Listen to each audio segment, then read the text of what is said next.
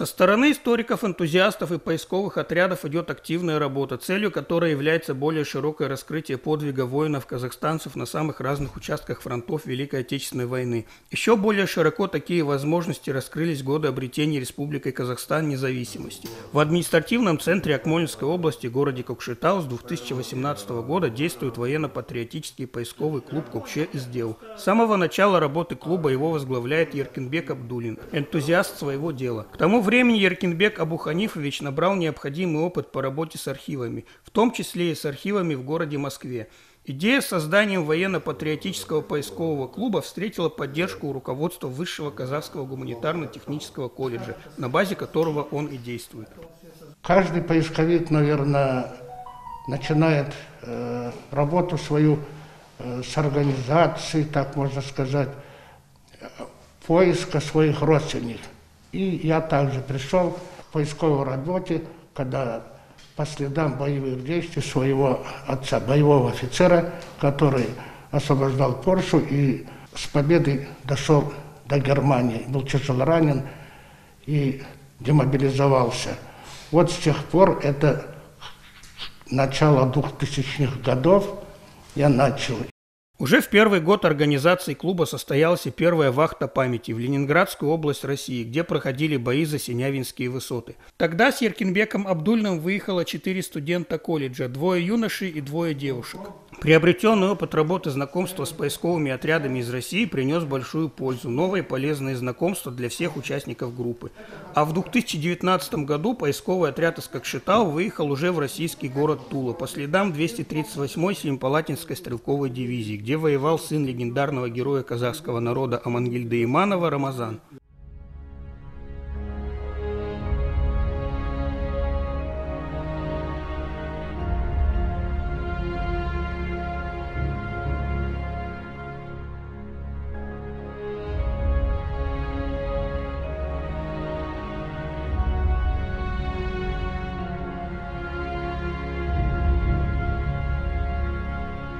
С начала пандемии коронавируса выездные вахты прекратились, но желание более широко открыть для земляков гибель в Харьковском котле в мае 1942 года 106-й Казахской национальной кавалерийской дивизии, влившейся в состав 6-го кавалерийского корпуса генерала Носкова, привела представителей отряда Кукще из дел, пусть и в ограниченном составе, на землю Украины – Примечательно, что значительная часть бойцов дивизии была из Акмолинской, Петропавловской, Кустанайской, Карагандинской, Восточно-Казахстанской, Северо-Казахстанской областей Казахской ССР. Поисковая экспедиция по местам героической гибели казахстанцев-кавалеристов проходила с 16 по 30 августа 2021 года.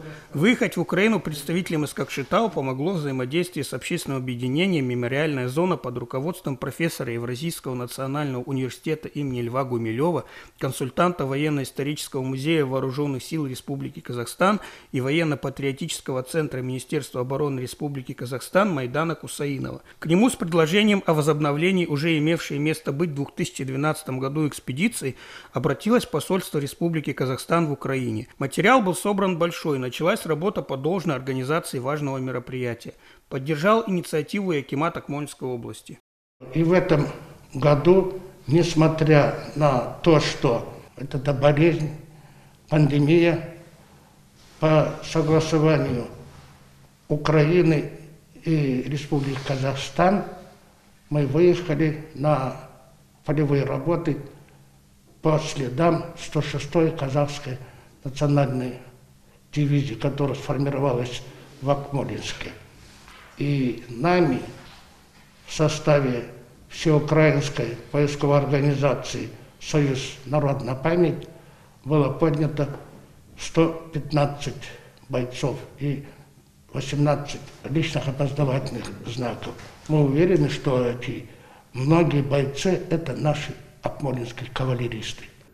Мейрамбек Тлеубай – один из активных участников поискового отряда Кукше СДУ. Сержант запаса, он был на таких военных должностях, как командир отделения и сержант взвода. Примечательно, что его постоянная работа также связана с военно-патриотическим воспитанием молодежи. Он работает военным руководителем школы-гимназии номер 17 в городе Кукшетау. И для меня вот это поисковое движение, то, что у нас связано вот в Казахстане, вот то, что мы работали это для меня было как бы интересно, так как мы, молодежь, должны знать о своих предках, Мейрамбек Тлеубай – участник международной вахты с 16 по 30 августа 2021 года по местам боев 106-й Казахской национальной кавалерийской дивизии. Вместе со своими старшими руководителями ему довелось побывать в трех местностях, где велась особая работа. В селах Степок, Червонная Балка и Лозовенька Харьковской области Украины. Каждый день был полон приобретения новых рабочих навыков, а также признания высокого уровня подготовки акмолинских поисковиков. При приезде в город в Киев нас очень хорошо встретило посольство Казахстана. Также переотправили, направлялись в город Харьков, там же нас встретили консульство Казахстана. И направили нас в село Лазовенко, которое находится в Балаклейском районе.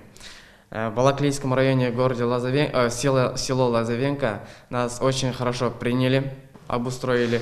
Э, также выдали все необходимое для работы, которое у нас отсутствовало. Во время этой экспедиции э, Союз народа памяти мы были награждены, награждены грамотами, сертификатами.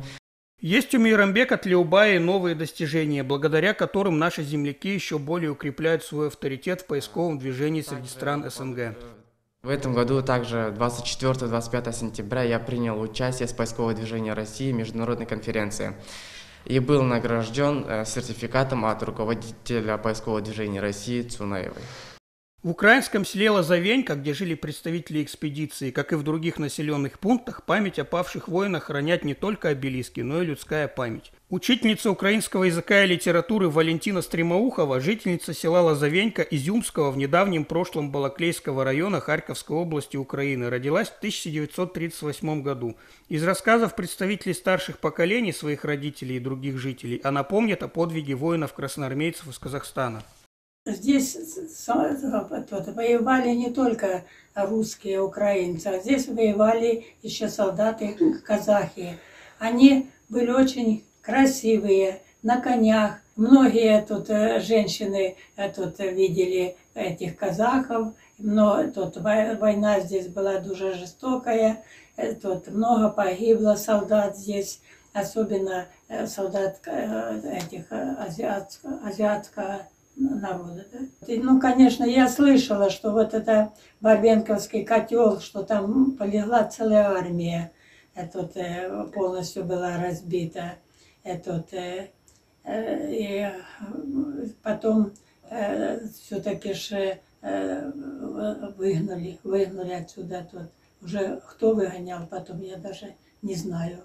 Казахстанцы внесли весомый вклад в дело победы над фашизмом. На полях сражений полегло смертью храбрых множество бойцов. Домой возвратились не все, но, к сожалению, не все, не вернувшиеся домой с фронта, были найдены. И на всех есть сведения о местах их захоронения. И поэтому работа поисковых отрядов особенно важна. И радует, что она находит поддержку у властей области. Благодаря поддержке Акима области э, Мажихпаева Емея Гурумбаевича, э, его обеспечение финансовой поддержки для экспедиции, которая поехала по следам 106-й национальной кавалерийской дивизии под Харьков, это Украина. Это большая работа. Где уже более сотни человек останки были подняты. Это говорит о том, что после проведения соответствующих экспертиз эти люди, вернее родственники, найдут своих дедов, своих отцов. И души этих воинов – наконец-то приобретут покой. У военно-патриотического поискового клуба Кукче СДЕЛ налажено международное сотрудничество и имеются четкие планы, требующие своего осуществления. Так, уже совместного взаимодействия с поисковой организацией Калужской области России в рамках разработанного проекта «Великая Победа объединяет народы» проведено две видеоконференции в онлайн-формате с участием представителей общественности регионов. В планах такая же конференция, возможно, в режиме офлайн, к которой планируют присоединиться представители Монголии, Сербии и Венгрии. Продолжается работа по увековечиванию памяти павших на полях сражений акмолинцев.